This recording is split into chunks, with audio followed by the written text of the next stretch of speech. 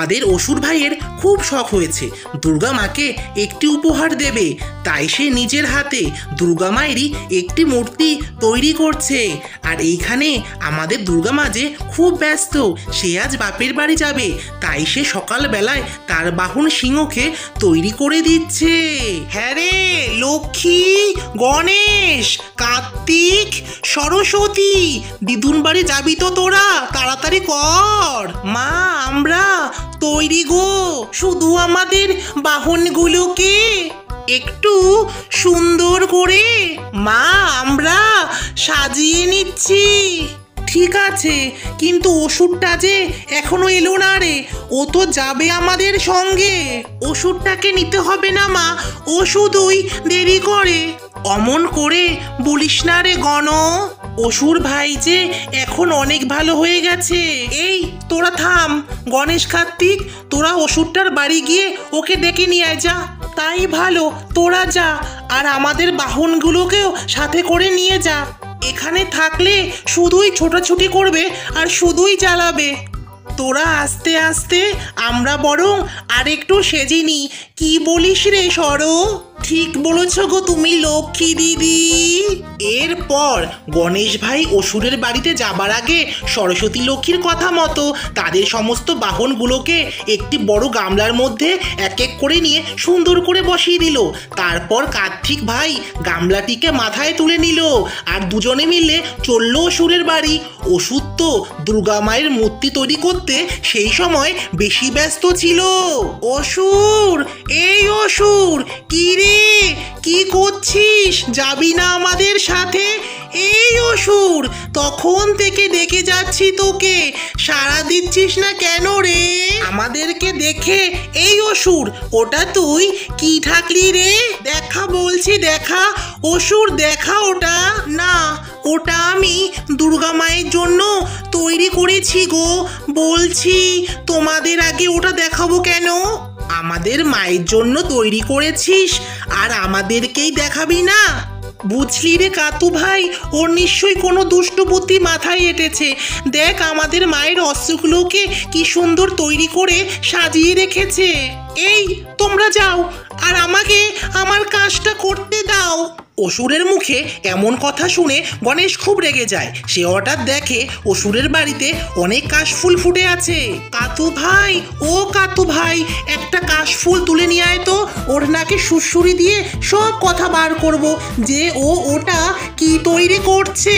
কার্তিক ভাই এবার বাগান থেকে একটি কাশফুল তুলে নিয়ে এসে গণেশকে দেয়। আর গণেশ কাশফুলটি দিয়ে অসুরের নাকে সুরসুরি দিতে দিতে বলতে থাকে কি কেমন লাগে মজা। কি করছিস বল ওটা অসুর, না হলে তোকে আমি দেব এভাবেই সাজা। অসুর ভাই এবার খুব রেগে গিয়েছিল। সে গণেশের হাত থেকে কাশফুলটা কেড়ে নিয়ে বাইরে ছুঁড়ে ফেলিয়ে দিয়েছিল। অসুরের এই রকম আচরণে গণেশ কার্তিক এবার আরও রেগে গেল। অসুরের নাকে আরও সুরসুরি দেবে বলে বাগানে গিয়ে বাকি কাশফুলগুলি তুলতে লাগল। আর এইখানে ওদের সব বাহনরা গামলা থেকে নেমে গিয়ে মা দুর্গার মূর্তির জন্য তৈরি করা অসুরের অস্ত্রগুলির সামনে গেল আর প্রত্যেকে এক একটা অস্ত্র মুখে নিয়ে ঘরের চারদিকে ছোটাছুটি করতে শুরু করে দিয়েছিল। অনেক করেছে এরা দুষ্টুমি। আর না, এবার ওদের মজা দেখাবো। এরপর অসুর ভাই এত রেগে গেল যে সবার সব বাহনগুলোকে খপ খপ করে ধরতে লাগল। তারপর একটা বড় ঝুড়ি নিল আর এক এক করে সমস্ত বাহনদেরকে ঝুড়ির উপর তুলে দিল যাতে তারা আর নামতে না পারে। সবার মুখ থেকে সমস্ত অস্ত্রগুলো নিয়ে থালার মধ্যে রেখে দিল। তার মাথা এত গরম হয়ে গিয়েছিল যে সে বাহনদের ঝুড়িটা টানতে টানতে বাড়ি থেকেই চলে গেল। আর তার যাবার একটু পরেই গণেশ কার্তিকের আসতে দেরি হচ্ছে দেখে মা দুর্গা তার দুই মেয়েকে নিয়ে অসুরের বাড়িতে এলো। কিন্তু অসুর তো নেই। দুর্গামা দেখতে পেল গণেশ কার্তিক বাগানে কাশফুল তুলছে। এই গণেশ কার্তিক তোরা বাগানে কি করছিস? কাশফুল তুলছিস কেন? ঘরে আয়। এসেছ। জানো, ওষুধটা? এ বাবা, ওষুধটা কোথায় গেল? আর আমাদের বাহনদেরকেই বা কোথায় নিয়ে গেল? কার্তিক গণেশ এবার সমস্ত কথা প্রথম থেকে সবাইকে সব কিছু খুলে বলল। অন্যায় করেছিস তোরা।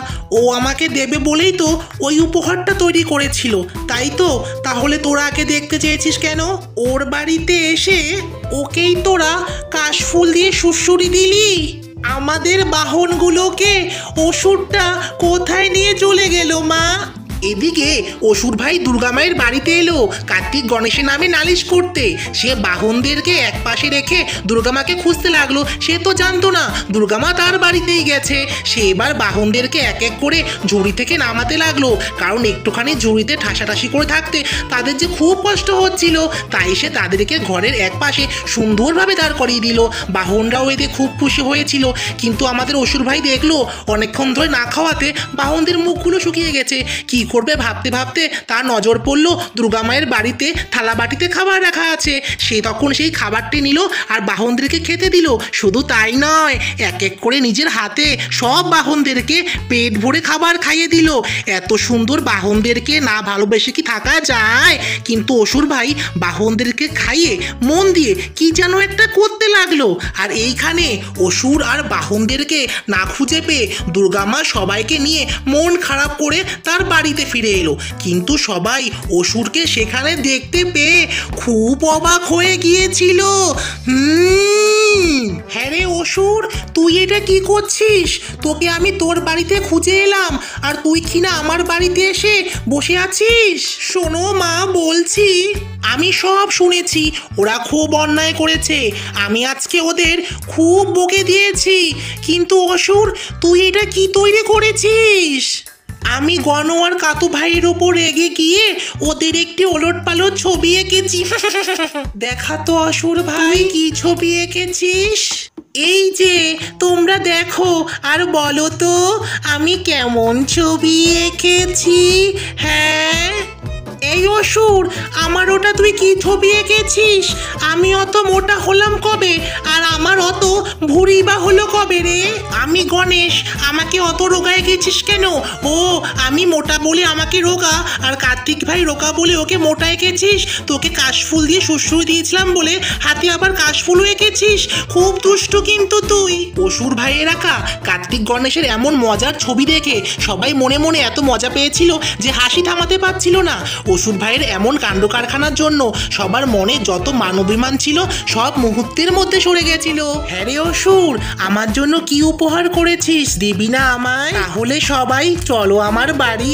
এরপর দুর্গামা সবাইকে নিয়ে অসুরের বাড়িতে গেল।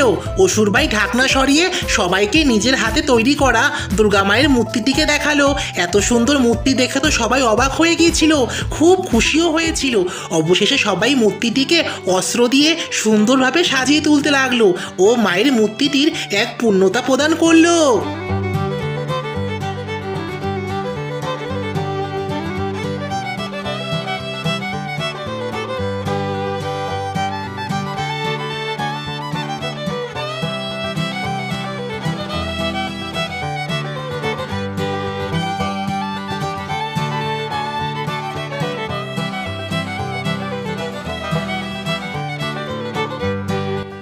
অবশেষে আমাদের দুর্গামা লক্ষ্মী, গণেশ, কার্তিক, সরস্বতী ও অসুর ভাইকে নিয়ে অনেক মজা করতে করতে, স্বর্গ থেকে মরতে পাপের বাড়িতে এলো। দুর্গা মায়ের মা সবাইকে বরণ করে ঘরে তুললো। পুজোর কয়টা দিন সবাই একসাথে আনন্দে মজা করেই কাটালো।